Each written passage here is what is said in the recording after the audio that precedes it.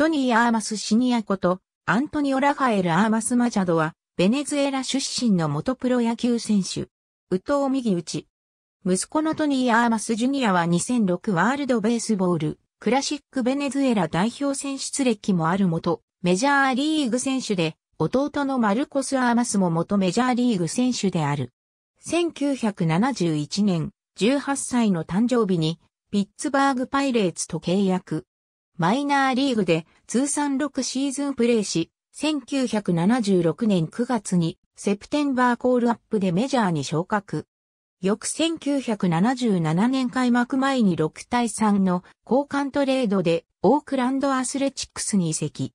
同年は当初翌種、途中から中堅手で起用され、118試合出場で13本塁打を記録。以後2年は故障勝ちで1978年は91試合、1979年は80試合の出場に終わる。1980年に自己最多の158試合に出場し、35本塁打、109打点を記録する。打率279は自己最高であった。ストライキでシーズンが中断した1981年には全109試合に出場。22本塁打は4人並んでアメリカンリーグの本塁打王となった。同年 MLB オールスターゲームに選出される。また、三振115もアメリカンリーグ最多であった。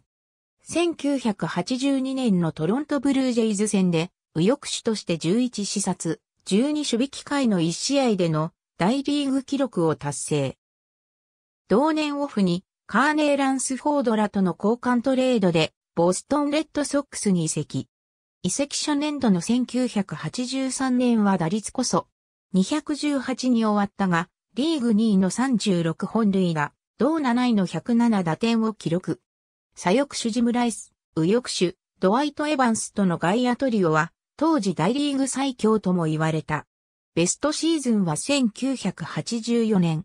157試合に出場して43本塁打で2度目の本塁打王123打点で初の打点王の2冠に輝く。二度目のオールスター出場を果たし、シルバースラッガー賞も初受賞。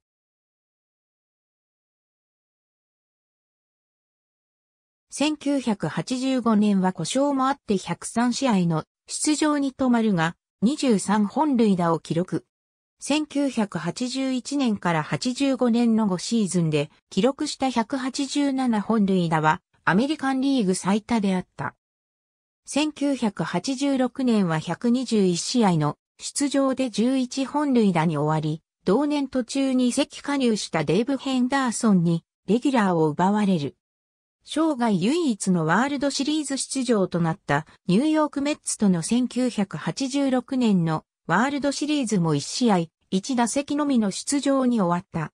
同年限りでレッドソックスを解雇される。